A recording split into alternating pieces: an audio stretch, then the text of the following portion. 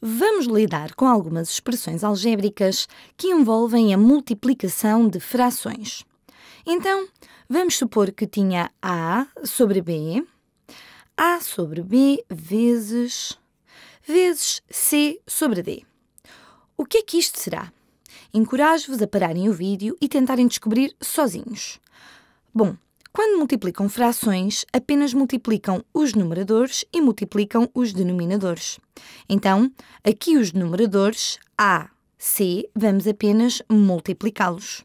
Será A vezes C, o que podemos escrever simplesmente como AC.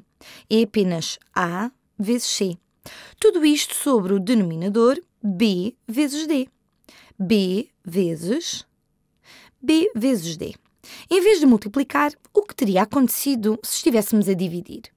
Então, se tivéssemos A sobre B, A sobre B a dividir por a dividir por C sobre D, o que seria isto? E mais uma vez, encorajo-vos a pararem o vídeo e tentarem descobrir sozinhos. Bom, quando dividimos por uma fração, isso é equivalente a multiplicarmos pelo seu, pela fração inversa. Então, isto será o mesmo que A sobre B, A sobre B, vezes, vezes o inverso disto. Então, vezes D sobre, vou usar a mesma cor para não vos confundir, o D era roxo, vezes D sobre C, vezes D sobre C. E a partir daqui, isto resume-se a um problema como este. Vocês sabem, eu nem sequer devia usar este símbolo de multiplicação agora que estamos na álgebra, porque podem confundi-lo com um x. Então, deixem-me escrever isto como vezes. Vezes d, d sobre c, vezes d sobre c. E ficamos com o quê? Bom, no numerador vamos ter a vezes d. Então temos AD. AD. Sobre sobre BC, sobre B vezes C. Agora, vamos fazer um exercício talvez um pouco mais complexo para ver se o conseguem resolver. Então, vamos supor que tinha, vamos supor que tinha, não sei, deixem-me escrever 1 sobre A menos 1 sobre B, tudo isso sobre, tudo isso sobre C. E vamos supor Vamos também dividir isso por 1 sobre d. Então, esta expressão é mais complexa do que o que vimos até aqui, mas penso que temos todas as ferramentas para resolver isto. Então, encorajo-vos a pararem o vídeo e verem se conseguem simplificar isto, se conseguem efetivamente realizar estas operações e obter uma fração que represente isto. Muito bem, vamos trabalhar nisto passo a passo.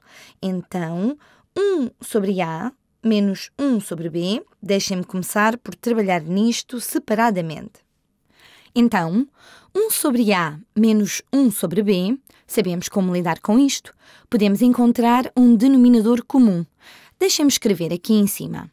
Então, 1 sobre A menos 1 sobre B será igual a...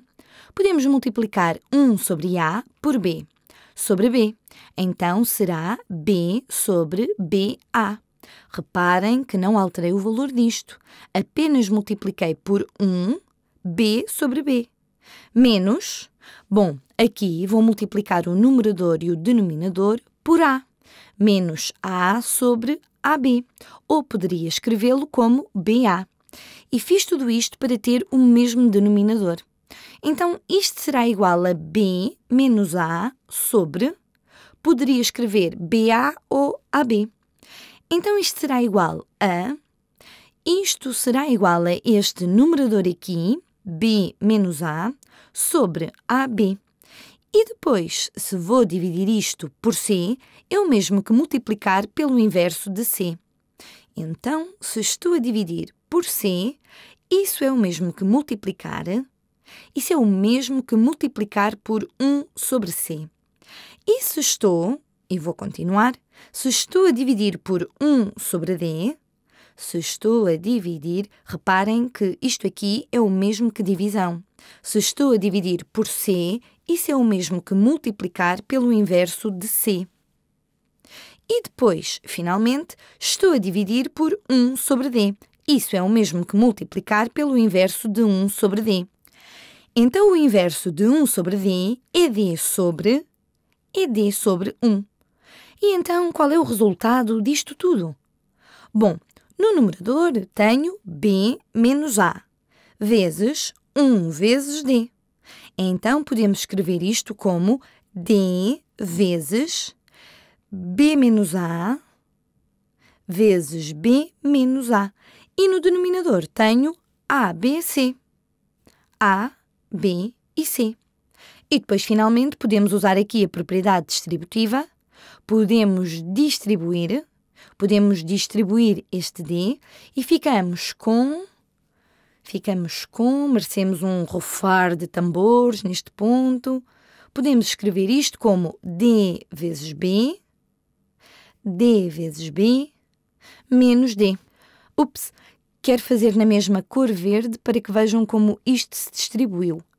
Menos D vezes A, tudo isso sobre, tudo isso sobre A, B, A, B, C. E acabamos.